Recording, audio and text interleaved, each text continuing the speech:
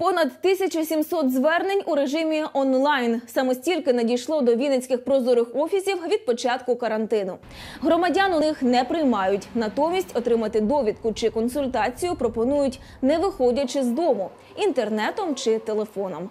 Все, що потрібно, увійти в персональний кабінет на офіційному сайті Вінницької міської ради та обрати необхідну послугу.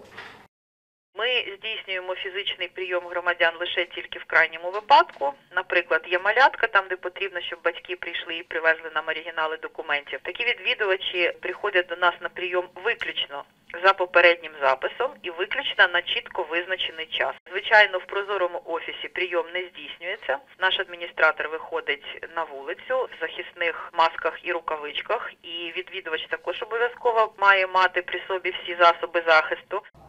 Наразі через особисту сторінку можна замовити три десятки онлайн-послуг міської ради та понад сотню через офіційні сайти державних органів влади.